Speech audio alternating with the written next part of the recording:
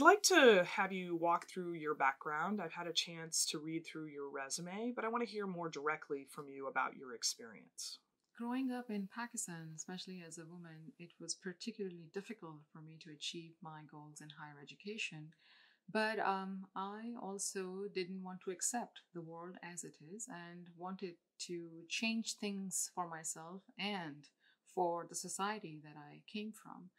So as soon as I finished my uh, degree um, in Pakistan, uh, I went to India to do my master's in history and followed that trajectory all the way to the University of Chicago and received my PhD in the Department of History.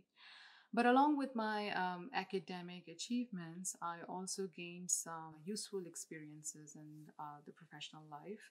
Uh, primarily among them is uh, teaching.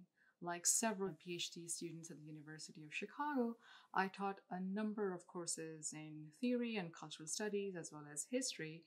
Uh, and I was actually given uh, a teaching award on the basis of being nominated by my students. My teaching was then also accompanied by my uh, research projects, and uh, I will just speak about a few significant ones. Uh, one was at the Regenstein Library at the University of Chicago, where I was responsible for a, a collection of Urdu books, uh, and uh, I had to do an integration of this collection in order to make it available for scholars um, around the world. And uh, very excited that this uh, collection is going to generate several very challenging and exciting research projects. This project was then followed by another major research project that was uh, about writing the history of the South Asian Studies Department at the university, resulted in a, a book and that book is actually going to open up new streams of funding for the department. However, it was uh, my postdoctoral fellowship at the South Asia Institute at Harvard where I learned the way in which businesses intersect with academic scholarly projects.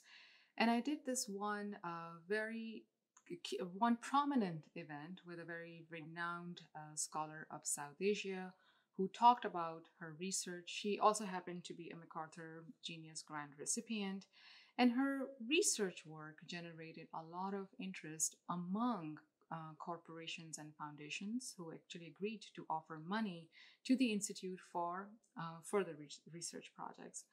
It was this experience that I brought back uh, with me to Chicago, and there were two insights that I was really keen to follow up on.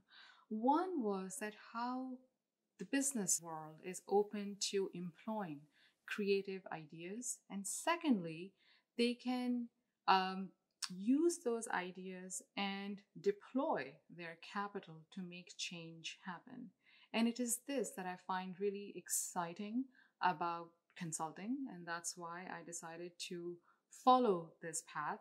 And uh, I'm very excited for this um, new trajectory that I would like to follow. And I'm excited for this opportunity to interview with you.